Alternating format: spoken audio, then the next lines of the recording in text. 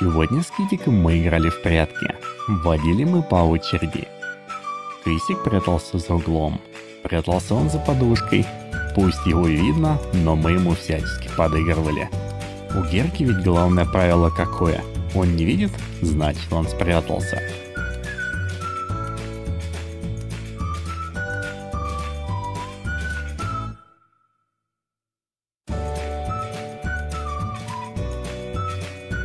Были у него попытки укрыться под столом, но громкое мяу всячески выдавало его местоположение, куда бы он ни прятался. После бурных игр к нему вернулась коварная рука. Она всегда нападала неожиданно. Геральт мужественно сражался. Давно мы с ней не виделись. Ранние зрители канала знают, что у Кысика с ней личные счеты. Несмотря на ее уловки, Геральт всячески показывал свое господство.